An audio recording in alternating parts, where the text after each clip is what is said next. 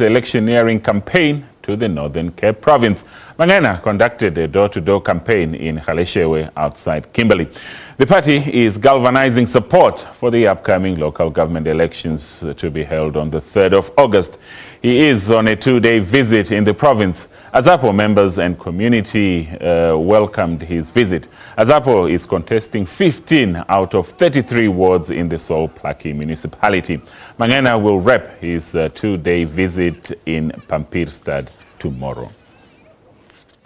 It is, it is not where it used to be, but it will get there.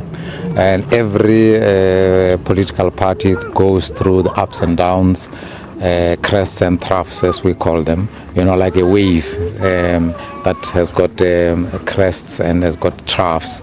Uh, but it is it is going there. It is going back to where it used to be, or even better. Especially because the the country is going down the tubes at the moment. Things are not going up; they are going down.